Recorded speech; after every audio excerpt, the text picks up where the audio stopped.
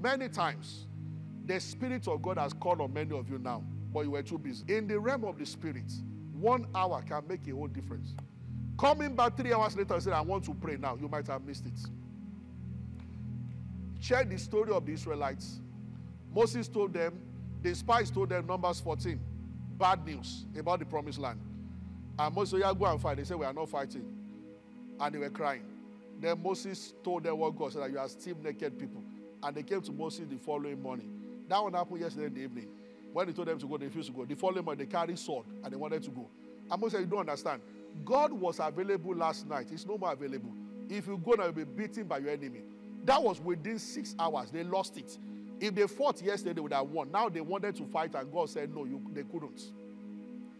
Many times, there is a serious bite, and we are wasting time instead of praying. Right there, right there. I thought there are signals that you should not even go out. Something has happened.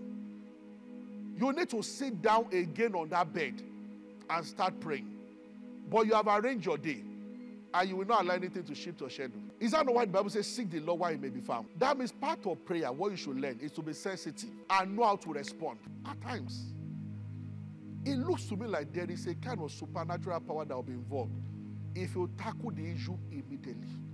There is affliction at work, no sale in the office, something in the, your business, another, you just incur another loss, something obvious. Right there, when you are giving the report, right there, just tell everybody to go, switch up, and close the door on yourself. Don't stop when there is still heaviness in your heart. You get to a point in your room, it looks like you, are, you want to cough out that problem out of your mouth. Sometimes what you are experiencing in the spirit, it begins to happen to your body physically. You pray to a point that it's as if there is a heavy metal, a weight in your heart, and afterwards, as if somebody takes the weight off.